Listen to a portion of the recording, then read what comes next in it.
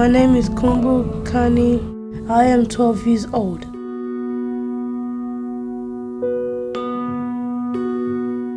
I was born into a very poor family. My single mother was unable to feed me, clothe me, or send me to school. One day, a man came to our house and told my mother that he could help her by taking me as his own and sending me to school. He took me away, but rather than looked after me, he sold me to a farmer for 5,000 kwacha. I worked as a shepherd from 6 in the morning until 4 in the afternoon, seven days a week.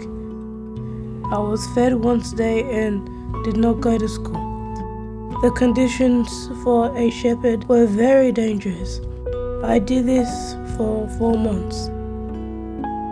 One day, people of the Salvation Army, Social Affairs, and the police came to rescue me. I was taken to the Mchinji Anti-Child Trafficking Rehab Center. When I arrived there, I was frightened and hungry. Now I am happy. I have three meals a day, clean clothes, and the best of all, I get to go to school.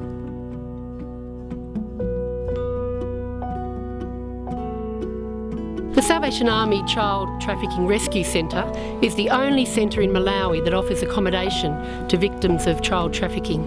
The children we have here have been sold or kidnapped to people to be used for child labour on farms, prostitution or domestic work.